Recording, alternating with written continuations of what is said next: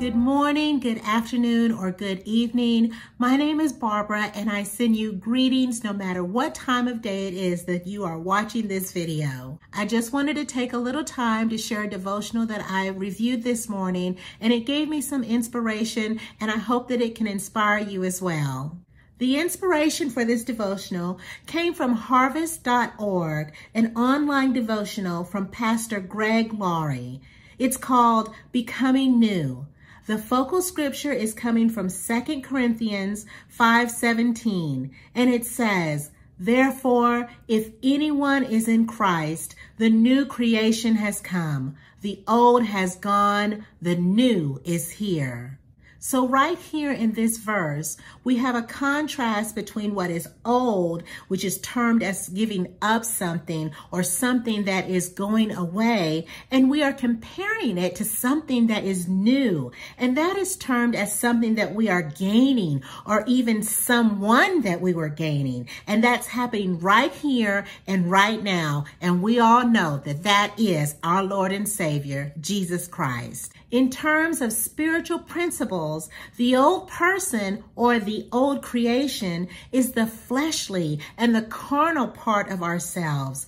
It's the part that works and operates in what we desire and in what we want. It is the part of us that yearns for the temporary satisfaction that comes when we reach for things of this world for fulfillment, for the fulfillment of our wishes and for the fulfillment of our desires of our earthly nature.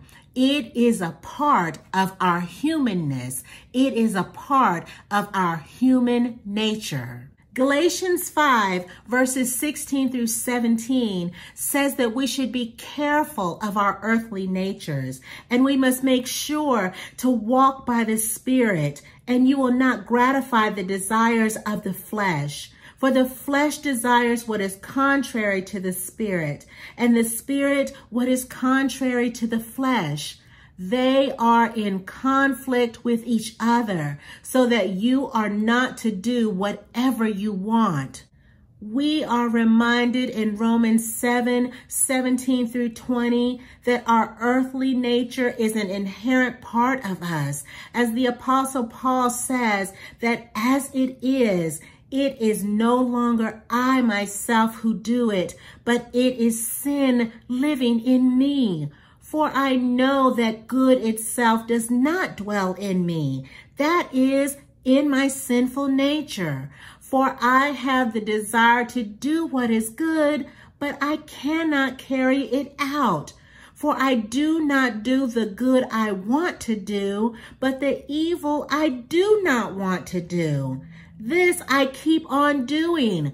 For if I do what I do not want to do, it is no longer I who do it, but it is sin living in me that does it. We have to come to the reality that by ourselves, while we may truly and really want to do good, and we really and truly want to be good because of the nature that we were born with, because of the fall from grace, from true goodness, and from true purity, we have no other option but to fail in all of our good intentions if we continue to rely on our old natures and if we continue to rely on our old selves.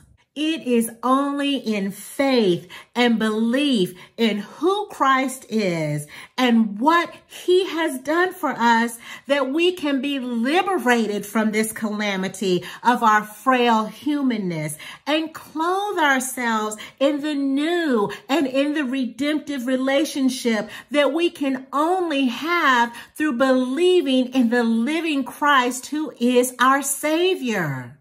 God promises that he can, and he promises that he will make us new and that he will give us a new heart. The Lord speaks to us in Ezekiel 36, 25 through 26, and he says, I will sprinkle clean water on you and you will be clean. I will cleanse you from all your impurities and from all your idols. I will give you a new heart and put a new spirit in you. I will remove from you your heart of stone and give you a heart of flesh.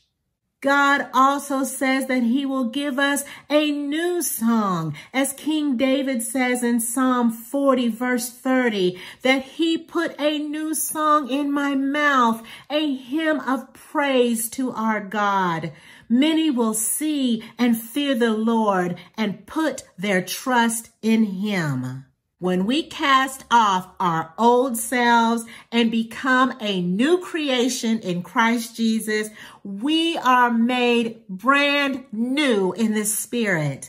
Ephesians 4 verses 22 through 24 says that we were taught with regard to our old former way of life to put off our old self, which is being corrupted by its deceitful desires, to be made new in the attitude of our minds, and to put on the new self created to be like God in true righteousness and holiness. In this devotion, it says that as believers, our spiritual lives are new, but we still do have the capacity to sin even though we have a new spiritual nature that was given to us freely by the Son of God, we won't automatically think only about good things and we won't automatically express the most agreeable or the most pleasing of attitudes we will not even automatically make the best choices for ourselves and for the others that we love and care about in our lives. When we accept Jesus Christ into our lives, that does not mean that the potential for us to sin has been completely removed from our living because we have two natures within us that are constantly at battle and fighting against each other. We have our new nature of righteousness and we have our old nature of self-service. But what we do have is the hope and the promise that the penalty for our sin in our lives has been broken. We have the promise that when we accept the gift of Jesus and the gift that he gives us when he makes us a new creation in him, that we no longer have to pay the price of living a hopeless and lost eternity in the bowels of hell. But we can look forward to a future of hope and anticipation of living splendidly in a glorious eternity filled with peace and filled with joy in the paradise which is called heaven. We can read this promise in Romans 6, 5 through 6. For we know that our old self was crucified with him, so that the body ruled by sin might be done away with, that we should no longer be slaves to sin, because anyone who has died has been set free from sin. And Galatians 2.20 says, I have been crucified with Christ and I no longer live, but Christ lives in me. The life I now live in the body, I live by faith in the Son of God who loved me and gave himself for me. The power and the penalty of sin died with Jesus when Jesus was crucified on the cross. Our old self, which is our sinful nature, died once and for all with Christ so that we have been freed and that we have been unshackled from the power that sin has had over our lives in our old selves. When we become a new creation.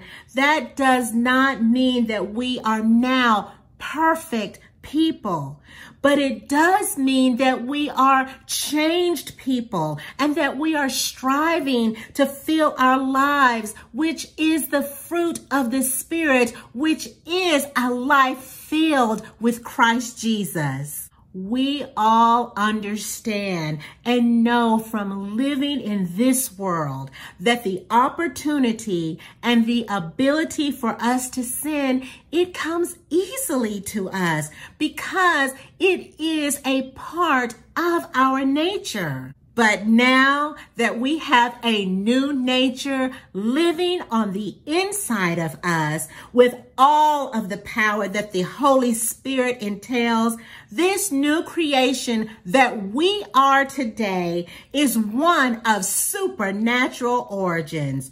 Through Christ Jesus, we are more than conquerors. The two natures are battling against each other every day. But which one will we choose? Which one will we make a choice to build up? Which one will we make a choice to grow stronger and stronger in our lives? Every time that we obey God with sacrifice and in sacrifice in our lives, in our wants and what we desire, every time that we resist the invitation to sin in order for us to fulfill and to do the will of our Lord, we are showing through our lives and we are being a living witness to others that the love we have been given through Christ Jesus, that love does and it will conquer all. I want to just take this time to thank you so much for watching and listening to this video. My prayer that as it gave me encouragement, that it gives you some encouragement as well. If you would like to see more of these type of videos, please don't forget to like, subscribe, and comment. And I so greatly appreciate your support. Until next time, be blessed in God's blessings. I love you. Goodbye.